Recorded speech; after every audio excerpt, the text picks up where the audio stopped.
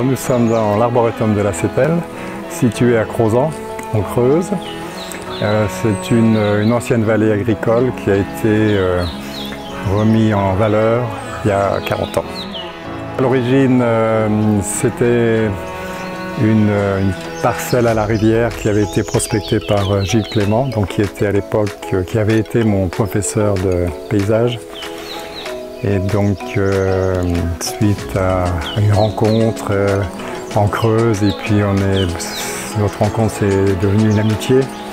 Et donc j'ai eu l'intention de m'installer ici.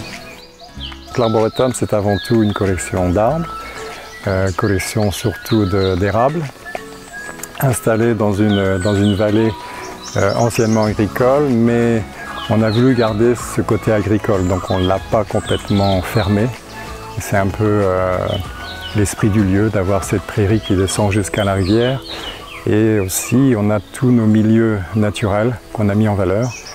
Donc la, plus célèbre, je dirais, c'est la, la de bruyère, puisqu'elle caractérise un peu l'histoire du lieu avec l'histoire des, peintres de l'école de Crozon, donc les peintres de la vallée de la Creuse. Pour moi, le plus célèbre, c'est plutôt la rivière, parce que les gens ne s'attendent pas à retrouver ça au bout du jardin, ce coin sauvage où la nature euh, euh, les impose un calme et un moment de paix. Pour nous, l'arboretum de la Cédelle, notre lieu de vivre, c'est d'abord euh, proche de la nature, sauvage, aussi inattendu et un lieu calme.